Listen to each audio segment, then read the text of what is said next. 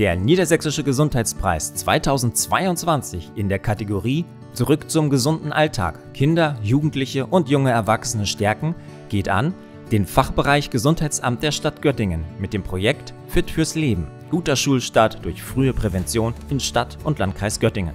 Als Kinderarzt ist man ähm, im öffentlichen Gesundheitswesen für die Schuleingangsuntersuchungen zuständig. Und die haben gezeigt, dass letztendlich nicht alle Kinder die gleichen Voraussetzungen haben, wenn sie in die Schule kommen. Und ähm, das hat uns gezeigt, dass Gesundheitsförderung ähm, nicht erst zu Schulbeginn starten sollte, sondern ähm, in der Kindergartenzeit. Die Bedarfe der Kitas werden durch einen individuellen Methodenmix erhoben.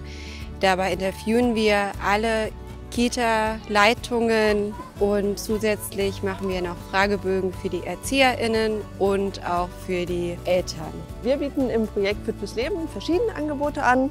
Das Angebotsportfolio geht über ähm, Waldpädagogik, Bewegungsförderung, Ernährungsseminare, Online-Seminare für Eltern bis hin zu äh, Podcasts, die wir aufgenommen haben, Yoga, Achtsamkeitstraining. Insgesamt machen bei dem Projekt 16 Kitas mit. Ähm, es sind acht Kitas in der Stadt Göttingen und acht Kitas im Landkreis Göttingen. Und 860 ähm, Kinder profitieren von diesen gesundheitsfördernden Maßnahmen aktuell.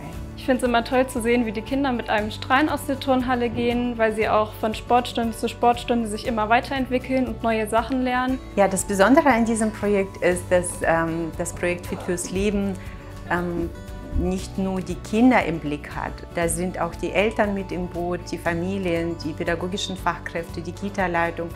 Und dieses Zusammenspiel von unterschiedlichen Akteuren macht das ja auch, dass dieses Projekt so nachhaltig und wertvoll wird.